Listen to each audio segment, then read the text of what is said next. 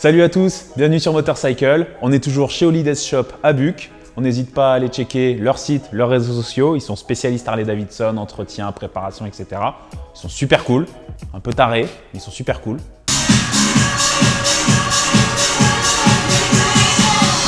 La dernière fois, on a attaqué notre série Comment ça marche avec le fonctionnement du moteur à combustion interne de moto, qui est grosso modo pareil qu'en voiture, hein, mais nous on s'intéresse à la moto.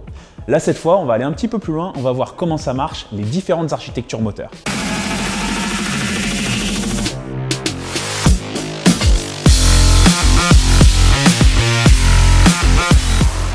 On a vu qu'un moteur de moto... Électrique Non, combustion interne.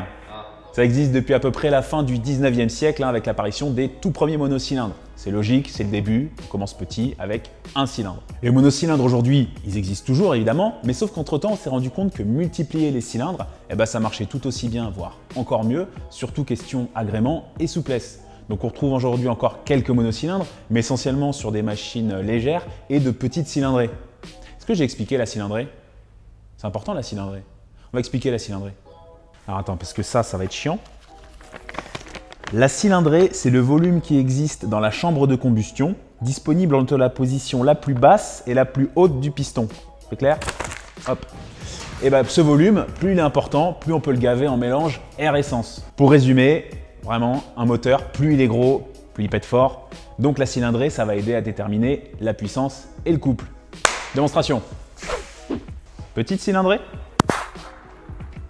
Grosse cylindrée. Alors cette cylindrée, on l'exprime en centimètres cubes, pour la moto en tout cas. En voiture, les moteurs sont globalement plus gros, donc on l'exprime en litres, mais c'est pareil. Un ZZR 1400 et un Kangoo 1 litre 4, ça cube pareil. Ça n'a rien à voir, hein, mais ça cube pareil. C'est moche pareil? Quand même. Bisous les, possesseurs de ZZR, vous aime. Bon, un gros, un peu comme celle-là. Là, il y a marqué 107, donc c'est une 107 cm3. Non, rien à voir, rien à voir. Ça, c'est parce que les Américains, eh ben ils font jamais rien comme tout le monde. Je sais pas, je suis américain. On compte en miles, pas en kilomètres. Donc ici, bah, par exemple, euh, c'est des cubic inch avec leur système bizarre là, euh, des pouces cubes. Ça correspond grosso modo 107 cubic inch, euh, ça fait 1750 cm3. Le compte est bon. Ah, bravo Alors là, évidemment, vous allez me dire comment ça marche si on a plusieurs cylindres. Évidemment. Eh ben c'est tout simple. On prend la cylindrée totale et on la divise par le nombre de cylindres. Exemple, un 4 cylindres, 1000 cm3, et ben c'est 4 fois 250 cm3. Un 6 cylindres de Goldwing qui fait 1800 cm3, c'est 6 cylindres de 300 cm3. C'est clair ou pas? Donc en gros, si je comprends bien, on prend une BMW par exemple, une F750 GS. Ouais. En gros, c'est 2 cylindres de 375. Non. Non, parce que celle-là, c'est une 850, et voilà. Alors oui, la cylindrée, généralement, ça indique, dans le, enfin la cylindrée dans le nom évidemment, ça indique la cylindrée du moteur. Mais ça, c'est en général. Parce que par exemple, pour des raisons euh, simples, genre les sportifs qui ont longtemps fait 998 cm3, on appelait ça des 1000, ça c'est plus simple. Mais c'est aussi commercial. Exemple, notre F750 GS, c'est la version entrée de gamme de la F850 GS. C'est pour les différencier alors qu'elles partagent le même moteur. Donc je le répète, la cylindrée, ça va énormément influer sur le comportement moteur. Un gros moteur avec des grosses explosions, c'est puissant, c'est coupleux, mais ça crée aussi énormément de contraintes. Des contraintes mécaniques, puisque forcément les pièces en prennent davantage dans la gueule. Plus gros, ça veut dire plus lourd, ça veut dire que ça consomme plus aussi en général. Après, on a le châssis, puisqu'un moteur plus puissant, il faut que la partie cycle soit adaptée avec des bonnes pièces, qui coûtent généralement aussi plus cher. Donc voilà, les cylindrées, c'est vraiment pas anodin. C'est même un des critères principaux euh, que, prennent en compte les constructeurs quand ils doivent concevoir un nouveau modèle. Bref, cette petite partie cylindrée, elle est, terminée. Hein. La puissance et le couple, on verra ça une autre fois, parce que sinon, je vais vous perdre. Mais en tout cas, on va maintenant voir au niveau des architectures moteurs les avantages, les inconvénients et pour quel usage. Donc on repart sur le monocylindre qui va équiper, comme je disais, des machines plutôt légères. Ça va être euh, du cross, du trail, des scooters, euh, voire des roadsters, euh, les supermotards aussi, très bien, voilà. pourquoi? Eh ben parce que comme on n'a qu'un seul ensemble cylindre-piston, c'est simple, c'est économique et c'est léger. En revanche, ça vibre énormément, alors surtout dans les hauts régimes, hein. vu qu'il n'y a qu'un cylindre, il n'y a rien pour équilibrer les pièces en mouvement, donc ça vibre beaucoup. genre exemple, voilà, hein, ça vibre, voilà, j'en mets un autre, ah, c'est déjà vachement plus équilibré. Quand la cylindrée elle est faible, 50, 125, 250 cm3, c'est pas très grave et on arrive encore à sortir des puissances euh, bah, respectables. Maintenant, quand on commence à passer sur des gros monos 500, 650 cm3, là non seulement les vibrations tu les sens vraiment, Et puis les contraintes mécaniques, j'en parle même pas. Donc si tu trouves, faut trouver des moyens d'équilibrer tout ça, ça commence à être compliqué. Et alors au-delà, il y, a vraiment peu d'intérêt. C'est pour ça que les monocylindres, on va plutôt les réserver à une utilisation généralement urbaine, voire sur des petites routes, là où on est content d'avoir de la patate. Au contraire, pour faire de la borne, là, genre 3 heures d'autoroute, franchement, oubliez, donc déjà pour l'agrément, et puis pour l'usure.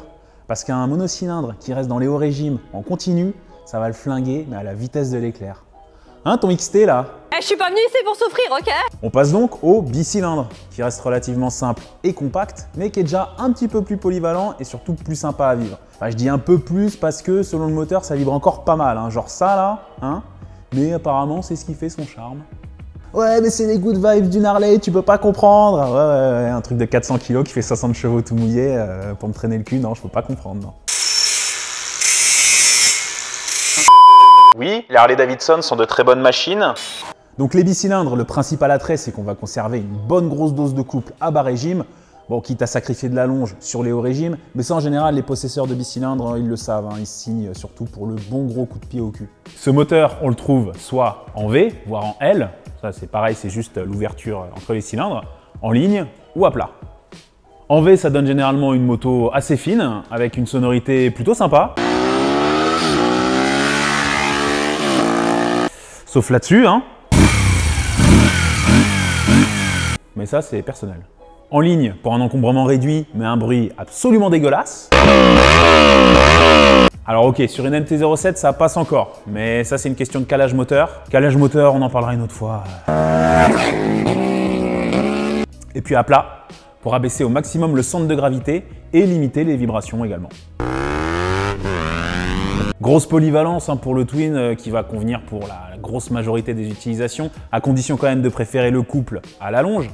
Maintenant, attention quand même aussi niveau souplesse, des fois c'est pas foufou, genre vous tapez un gros bicylindre sportif que en ville, que avec l'embrayage, à jouer de l'embrayage, je vous raconte pas l'état de votre poignet. On passe maintenant au joyau, au summum, au graal, à l'essence même de la moto. Ah, il va parler du 3 cylindres. Non, le 4 cylindres. Est-ce que c'est l'architecture moteur que je préfère? Possible. Est-ce que c'est la meilleure pour autant? Bah non, évidemment. C'est pas le moteur parfait déjà en termes d'encombrement. Forcément, on a plus de cylindres, donc ça prend plus de place, ça pèse un peu plus lourd, c'est un peu plus complexe. Mais à l'inverse, l'avantage, c'est qu'on multiplie forcément les cylindres, donc on a des plus petits pistons qui se partagent encore mieux le boulot avec moins de contraintes sur chacun d'eux. Dans un 4 cylindres, il y a évidemment moins de couple que dans un bicylindre. On parle d'ailleurs de moteur creux, où justement il faut aller chercher dans les tours pour avoir cette puissance. Mais alors niveau caractère, justement, ça part doucement, ça se réveille, et quand ça arrive en zone rouge, alors là... a gueule mon vieux, on dirait une poissonnière de Ménilmontant. le 4 cylindres, il va offrir une plus grande souplesse, mais en contrepartie, il va demander à aller chercher les hauts régimes pour s'exprimer pleinement. Niveau configuration, on le trouve majoritairement en ligne, alors même s'il est plus large, il reste quand même assez compact en longueur et il reste surtout plus simple à concevoir. On le retrouve aussi en V, comme le bicylindre, mais cette fois, ce sera plutôt sur des machines proches de la compétition, très performantes, puisqu'il devient tout de suite plus complexe à mettre en œuvre. On a deux bandes cylindres, ça veut dire deux distributions, ça veut dire deux sorties d'échappement, enfin quatre en l'occurrence. Voilà, tout ça fait qu'il est un peu plus compliqué à concevoir. Mais par contre, en termes d'encombrement, on se retrouve avec une machine très bien équilibrée, à peine plus large qu'une machine équipée d'un bicylindre, donc toujours très aérodynamique, mais en revanche qui va pouvoir prendre plus de tours, donc offrir plus de puissance. Puis alors avec un bruit. Pour l'anecdote, il existe une dernière configuration, c'est la configuration en carré. Voilà, 4 cylindres en carré. Euh, c'est Suzuki qui faisait ça dans les années 80 sur sa RG500 Gamma notamment, avec un moteur inspiré de ce que faisait Suzuki en Grand Prix à l'époque. Alors, ne me demandez pas trop l'avantage d'avoir euh, deux bandes cylindres comme ça avec deux vilebrequins. Euh, j'ai cherché, j'ai pas trouvé. Si vous le savez, mettez-le en commentaire, tiens, ça peut être intéressant. Pour résumer, le 4 cylindres sur la route, c'est vachement bien. On en trouve à toutes les sauces, ça convient pour toutes les utilisations. Faut juste pas avoir peur d'aller cravacher, d'aller chercher un petit peu euh, haut dans les tours. Et alors au-dessus du 4 cylindres, est-ce qu'il y a? Oui, il y a, ça existe. C'est un peu plus marginal, mais... T'as oublié un truc? Je suis sûr. Quoi? 3 cylindres, par exemple. Je suis obligé. Absolument Hop, hop, hop Allez Bon, bah les 3 cylindres alors. Donc je la connais, hein, la chanson du 3 cylindres. Ouais, c'est vachement bien, t'as plus d'allonge qu'un bicylindre, t'as plus de couple qu'un 4 cylindres. Sauf que moi, au final, bah, je trouve que t'as ni l'allonge d'un 4 cylindres, ni le couple d'un bicylindre. Donc oui, alors ça a des avantages, c'est plutôt fun, ça fait un bruit assez sympa, ça faut le reconnaître. Mais voilà, je trouve que ça a un peu trop le cul entre deux chaises pour que j'en ai une un jour. hein. Euh, C'est comme ça, j'aime pas, j'aime pas. Quoi qu'il en soit, le 3 cylindres, on va le retrouver sur la majorité des types de motos de route, hein, que ce soit euh, roadster, sportive, trail, euh, même custom hein, éventuellement, puisque c'est un moteur qui est assez polyvalent et assez compact. Alors compact, sauf dans le cas de la toute dernière Rocket 3 qui fait 2500 cm3. Oui, oui, oui, oui, oui. Son 3 cylindres, cube très exactement, 2459 cm3. C'est le plus gros moteur de la production pour une moto de série. Euh, la Bossos, je la compte pas, hein, c'est un V8 de bagnole dedans. On termine donc notre petit tour des architectures moteurs avec une qui reste relativement répandue, le 6 cylindres. Ce moteur-là, on va le trouver aujourd'hui essentiellement sur des machines qui sont faites pour avaler de la borne. Il faut savoir que quand les premiers 6 cylindres sont apparus dans les années 70 à peu près, ça équipait les machines sportives de l'époque. Ouais, ça à l'époque, c'était une sportive, c'était pas un roadster.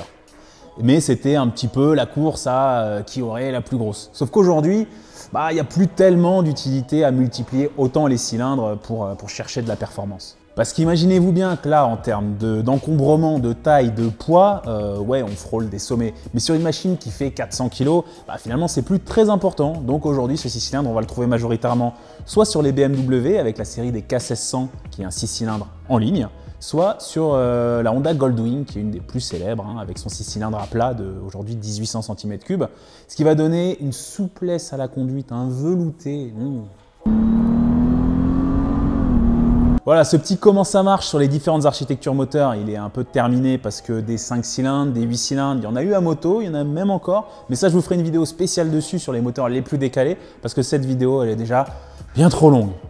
Si ça vous a plu, bah, je vous invite à mettre un petit pouce bleu sur la vidéo et à vous abonner ainsi qu'à activer la cloche, très important. Comme ça, vous serez averti sur les prochaines vidéos qui sortent. Et puis bah voilà, nous suivre aussi sur les réseaux. On est sur Facebook, Insta, Twitter. euh, on y poste euh, des making-of des vidéos. On y poste euh, des conneries très personnelles aussi. hein, ça, ça arrive. Absolument. Voilà, Voilà, n'hésitez pas. Donc prenez soin de vous, portez-vous bien. Et à bientôt pour une nouvelle vidéo de Motorcycle.